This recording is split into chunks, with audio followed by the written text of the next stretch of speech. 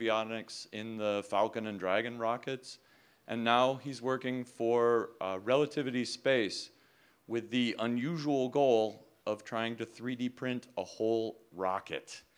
This is an amazing feat of engineering, and with that in mind, would you please join me in welcoming to the Hackaday SuperCon stage, Bryce Salmi.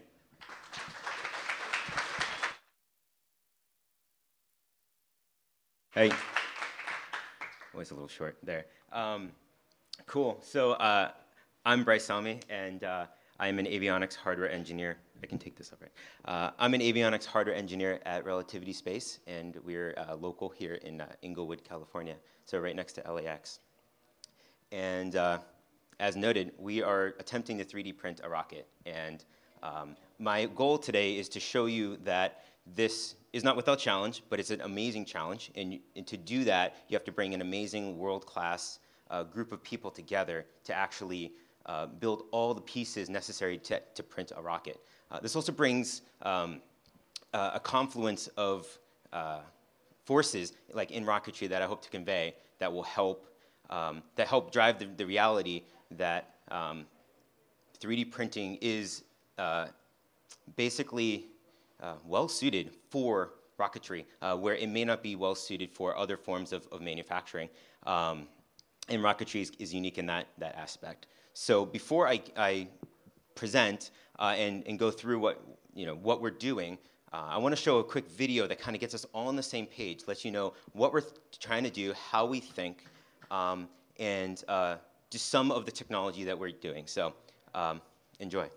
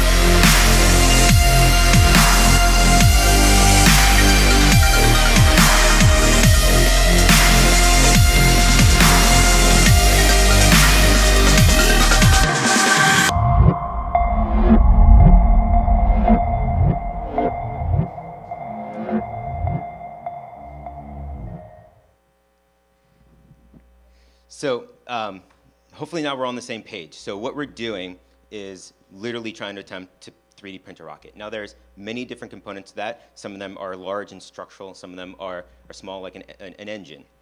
And uh, as you saw in that video, there are several technologies necessary to do this. And uh, we'll kind of start at the beginning. So we were formed in 2015 by Tim Ellis and Jordan Noone. Um, both of them uh, worked in the space uh, industry, Tim Ellis at Blue Origin and Jordan Noone at, uh, at SpaceX. Um, and both, I believe, were in the USC Rocket Propulsion Group. If any of you were at USC Rocket Propulsion Group, kind of alumni there. Uh, and really, what we're doing is we're taking a new approach to manufacturing rockets. And um, by actually utilizing a different form of manufacturing from the start, from a clean slate, lets us think differently. Let's just approach problems and reduce the overall work necessary to get there. Most people think that 3D printing, oh, we reduce labor. Well, rockets are largely labor. They're a huge component of labor uh, necessary to do that. Uh, but there's also a huge cognitive overhead. Every engineer needs to make sure that each piece comes together like at their interface uh, through manufacturing and testing and uh, needs to put a, quite a substantial effort into, into making sure that's going to work. If any of you, and I know a few of you here are in the space industry, uh, have gone through an acceptance test or a qualification campaign, it's insane. and uh, takes a lot of time. So the reducing the number of parts can drastically reduce the number of people and number of, of, of just effort you need to put into each individual part uh, to, to, to, build up a rocket. Uh, we also reduce fixed tooling. So one of the kind of background things about rocketry is uh, if you have a certain diameter tank, you have to build um, welding machines and uh, jigs and molds and transport uh, materials, all these fixed tooling costs that can be tens or millions of dollars. Um, and that's just locked up into that design, which as you iterate on a design, like does not, it's not conducive to changing that design. You want, you maybe might make your rocket a lot longer instead of wider, things like that. Uh, because you can't actually uh, quickly iterate on that tooling. So by focusing on these and actually using the 3D printing process, we can reduce a lot of that overhead that people have to think about, people have to design. It might not allow us to go ahead with a more manufacturable or a more higher performance vehicle. So uh, with that said, we're actually moving into the constellation market because uh, that, that market is, is, uh, is taken off, I guess, pun intended. Uh, and, uh, and there's about to be a huge uh, uh, demand for dedicated launch services to specific orbits. You can ride share, but if you ride share with the larger rocket, you have to either wait for that rocket, uh, a rocket that's going to launch to go into your, the orbit that you want, or you have to pay for the whole rocket. So that brings up Terran 1. So Terran 1 is our 3D printed rocket, and it's aimed at uh, launching about 1,250 kilograms to orbit, uh, so low Earth orbit. Uh, so roughly size of a mini in the all fun of launching cars into space. Uh, it's about a mini. I think it's a mini. So uh, this rocket ends up being about 100 feet tall, uh, sorry, yeah, 100 feet tall and 7 feet in diameter, which might strike you as that's a huge printer, right? Um, we'll get into that. So, and then uh, in all things uh, fun rocketry, this is a Methalox engine, so uh, Methalox rocket, so oxygen and methane. so you, we, we are printing this vehicle to, to, to use both cryogenic um, uh, fuels. And uh, those cryogenic fuels are autogenously pressurized. Does anyone here know what that, that is? It's, yeah, it reduces, so um, as you can also probably guess, if you need COPVs or pressure tanks inside for things like helium or nitrogen or anything that you might want to pressurize the tank, um, that's an extra system. That's, that's a whole other effort. So by autogenously pressurizing, we are taking part of the fuel that was liquid, it has now been heated and turned into a gas, and throwing that back into the same tank to help pressurize it, it reduces the whole system. Um, so uh, the engines themselves are using are printed using traditional manufacturing, uh, not traditional, that additive manufacturing that is commercial, DMLS printing. Some of you, who here has used direct metal laser sintering? All right, that's a good good crowd. Some, someone said it. It's it's catching on. It's but it is essentially layering down pieces of uh, powdered metal and then using lasers to sinter each layer. Uh, so uh, the Aeon engine can be printed that way. It, is, it can fit within those, those constraints. Um, but the, Stargate, the, uh, the Terran 1 rocket cannot. That needs a custom printer. No one makes that. And that's why we've built Stargate, which focuses on actually printing a vehicle that is 100 feet tall and 7 feet wide. No one makes this. So we actually have that in Inglewood, California. And uh, with both of these technologies combined, we are trying to go from a new design to, uh, to flight in 60 days, which uh, is a pretty monumental effort. And all the pieces need to come together to make that happen. So for AM1, this is the engine you saw in the beginning video uh, firing. We've actually fired it 104 times in five iterations of it in just over a year, which um, building a rocket engine is not simple, and it takes time. So tra uh, traditionally, it usually takes about a year to get a whole campaign going uh, for a particular design. We've done that five times in the course of a year, and that is using 3D printing. It is designed from the start to be 3D printed. You really can't make it without uh, DMLS printing. So by doing that, it allows us to think about it from a clean slate. And when we do that, uh, we've come up with creative ways to remove the structural supports that you need when printing to support overhangs and things like that. We can be, um, we've, we've developed that technology because we started early in doing it uh, to allow us to, uh, to remove those features that can be a pain when using this technology. Uh, and when you, uh, when you look at this engine, this is the pressure fed configuration. So uh, in flight, there is a, a, a turbo pump, um, but this is three components. We hit print three times. Uh, and that consists of the nozzle, the combustion chamber, the injector, and the igniter. Uh, and the, the best that I can find uh, on the Apollo engines, uh, you know, back in the space race in the 60s, just those parts consisted of about 5,600 different little pieces that had to come together. So when you think of how many engineers do you need to design those, how many manufacturing personnel do you need to, to put that through a system and make sure that you are producing a vehicle that you can rely on to get people into space. Um, that's really hard. That takes a lot of people. If it's three parts, that's a lot more manageable. So uh, that's, that's really where when you sit back and think about what the power of 3D printing does, is it allows you to, to have more complex parts uh, because there's fewer of them. You can, you can uh, optimize and solve different problems you never had the chance prior to solve. So yeah. If you've never seen uh, printing on, on the right, uh, you saw a little bit, a little bit of it in the beginning video, uh, but we, we essentially layer a, a, a powder bed down with, with powdered metal and we'll build the part up piece by piece, layer by layer. And then when you're done, you, you remove all the sand. So the one design constraint is you, gotta, you do have to make sure that you can remove the sand. But um, this allows us to do things like print cooling fins inside you know, the jacket of the engine and allow us to um, do things you would never be able to, to manufacture or put more of them in uh, that you would never be able to, to fit in with uh, subtractive manufacturing, you know, putting it on a CNC machine or some type of mill. Uh, there's also a picture of uh, a piece of turbo, turbo pump uh, assemblies that we are printing at the moment uh, for the engine. So like I've gone over, uh, we, can reduce the we can increase the complexity of each part and reduce the overall complexity of the vehicle. It's kind of like you know, seeing the forest for the trees, right? How do I make this an easier problem to solve? How can I iterate faster? Because if I iterate faster, I'm learning faster, and I'm coming to something that works. So, um, yeah, that's used kind of all around the vehicle on things that are kind of small, right? The on engine, valves, manifolds, structural brackets, things that make sense to print. Um, you, may, you know, maybe some valves you might want to print custom, some you might want to buy, but uh, oftentimes you're, you're sitting there thinking, you know, where does this technology allow me to optimize? And since we're printing uh, engines uh, so early, because we, we are, um, that was one of the huge items that we, we worked on first, uh, we have a test site in Stennis, and we are firing this engine.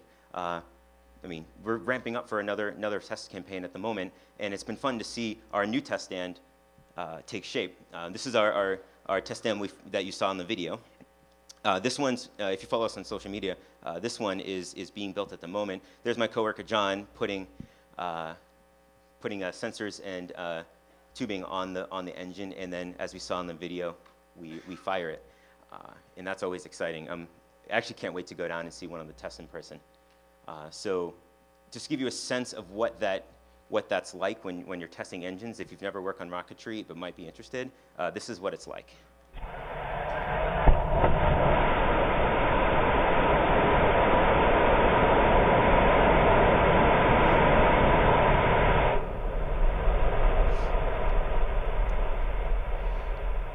So by doing a lot of tests quick, you learn fast. So like I said, we've done five iterations of this engine in just about a year. And uh, in each iteration, you're trying to fix things you saw, you've seen, trying to optimize for things you didn't expect. Um, and if that takes a few months as opposed to a year, um, you make progress fast. Um, and while this is happening, and because we're using DMLS printing on, on that, we can, we can leverage the commercial market for, for those printers. Uh, there's the fact that no one builds a printer big enough to print a rocket. And that's where Stargate comes in. So Stargate is a custom 3D printer and uh, it's located here in, in, well, not here, but just down the street in Inglewood, California. And uh, for scale, here is Tim. Uh, it's a large printer, and it prints tanks, and it prints vehicle structures. Um, right now, I mean, it, I, every day I see a new print, and it is, it is quite amazing to see the progress go because you can iterate quick. You get an answer to a question uh, much faster than if you have to send it to a factory or build the tooling necessary to, to do it.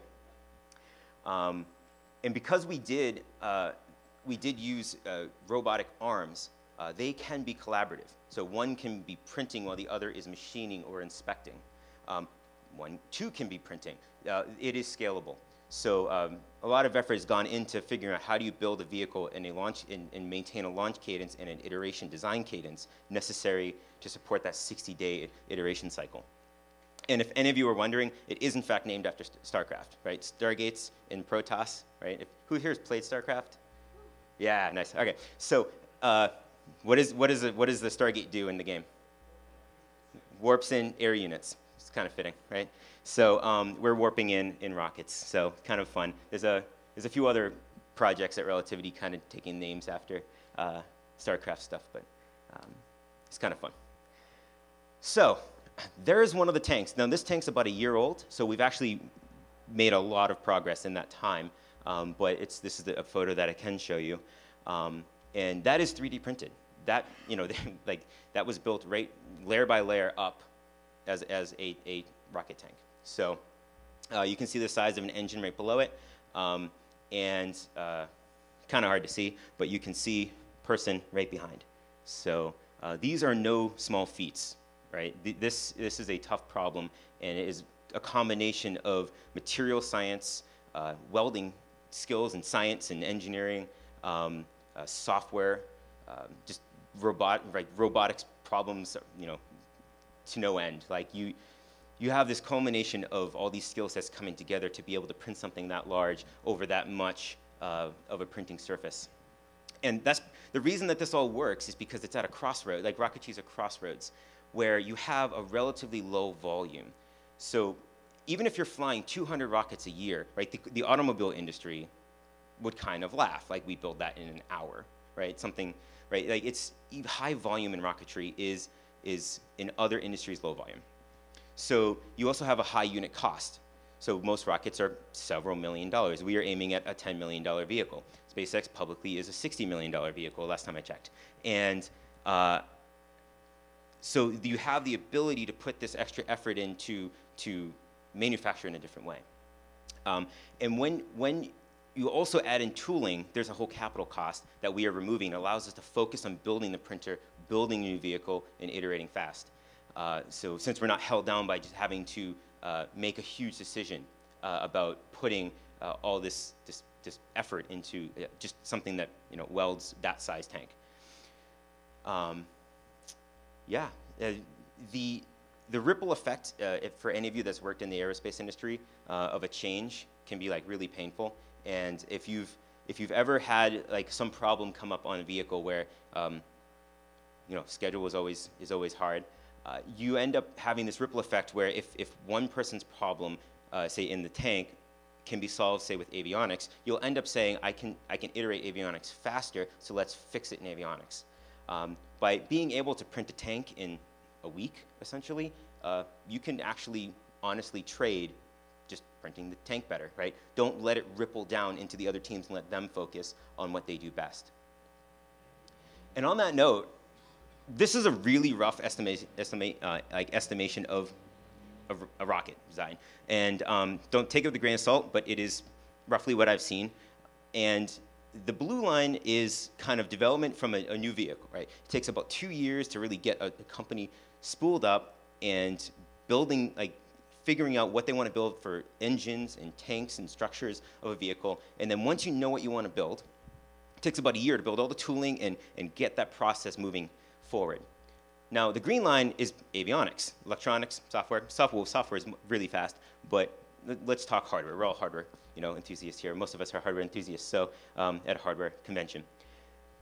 So it still takes about one year. If you have a new design that you're trying to put a few, like drive valves on a, on a rocket in a new way or interface new sensors, um, you're generally looking at about a year effort. Uh, if you're updating an old design or, um, or kind of optimizing, it can be less, but it's still a pretty monumental effort. And then when you actually go to build this hardware for flight and test it and qualify it, it still takes two to three months, easy, to do that. And then you see where we're going. So we are trying to build and fly a vehicle in 60 days. Just gonna let that pass. And our development cycle is on the order of about six months. So we are already substantially faster than even electronics iterates at most other companies building rockets. And that, uh, that brings me to avionics. So I'm an avionics hardware design engineer. And so my job has generally been to uh, solve problems that you know, interface with the vehicle, close the loop, right, sense something, actuate something, you know, help build computers, things like that.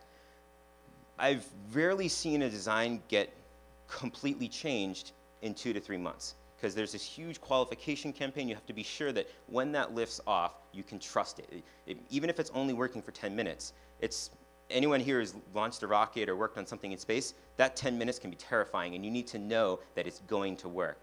So there's a huge effort to get that, um, to, get, get that qualified. Um, and let alone your, your, even if everything was built and nothing changed, or everything was done, nothing changed, just to get something accepted to go on a vehicle roughly takes about three weeks. You can do a fast board spin in like you know, a week or two, right? Just thermal cycling alone in most test campaigns I've seen can take several days, just the thermal cycle part of it. So you have a minimum of three weeks that is almost half of the time it takes for us to iterate a whole vehicle. So do you see the problem coming in? Right? We are now looking at a process that is really slow. Um, and that's why one of the huge challenges that I'm really excited about um, relativity uh, solving and helping solve that is how do we augment 3D printing? How do we build an avionics system that uh, prepares for change and reduces the amount of, of design uh, ripple that comes in with changes and allows us to move quick. Um, you know, and really augment that 3D process because it would be a shame if your, your mechanical structures became so fast that your electrical systems, your harnessing, uh, start slowing you down. Um, even harnessing is probably one of the hardest things in rocketry to do. It's usually one of the, some of the most uh, uh, uh, likely to fail in, in orbit. Um, you know, when you're going into a high vibration uh, situation, though each connection has the potential to back out or the crimp can fail, uh, wires can be cut, things like that. And uh, when you have tens of thousands of connections in the vehicle, that is quickly becomes one of the areas in a rocket that uh, avionics just, you know, you worry about it. And when you build a custom harness, um, I've often seen that take eight weeks. You know, so the vehicle now iterates faster than even the harnessing. Um, so the, the, the reality of, of, of coming into relativity has been that like we have to think differently, have to think about it uh, in a way that is proactive and anticipates the vehicle changing which has forced us to th just think about things in a completely different manner. How does manufacturing uh, ideology change when you have 3D printing uh, affecting everything, not just you know testing or jigs? It's literally making the whole vehicle move quicker uh, through the design cycle. And even though we're really not 3D printing circuit boards, um, it affects us, and we have to think about it. So, uh, yeah, that's that's the that's kind of the, the crutch there on the avionics. I wish, I wish I could show more, but it quickly comes down to ITAR and, and things like that, where um, we'll figure out some way to, to get more info on that. But um, if you're local to LA, you probably know Inglewood, but this is our office in Inglewood. We actually have about four times as, this much, as much space as shown in here uh, in our little office park. One of them has the world's largest 3D printer um, in it, which is kind of cool.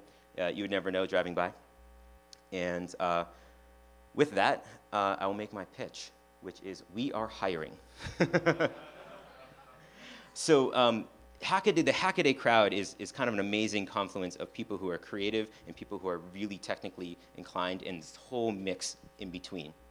And when you're looking at a problem that's never been solved before, you really want creative people. You want people thinking outside the box and, th and thinking not just, not, not against how it's been done before, but not assuming that's the only way to do it right? Uh, maybe technology has changed. Maybe something has changed that allows me to do something different. And um, I've really seen that uh, be prevalent in, in very creative people. So um, this crowd to me is, is, you know, if you see something up here that you like and you think you want to do, by all means, you know, give us, give us, a, give us a ring, right?